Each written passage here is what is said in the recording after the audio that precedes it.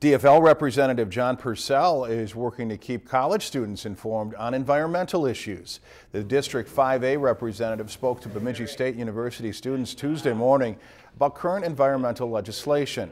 Persell highlighted state water quality efforts, the progress of alternative energy, and the future of mining precious metals in Minnesota. We're pushing at the legislature, and you're going to see in some coming years don't know when, I don't want to predict when, but you're going to see that we're going to be going in and mining these, uh, these old landfills for precious metals and other things. You know, we've got to have the technology to be able to do that, but uh, mining what we've thrown away. Persell is a member of the Environmental and Natural Resources Policy Committee. If you've enjoyed this segment of Lakeland News, please consider making a tax-deductible contribution to Lakeland Public Television.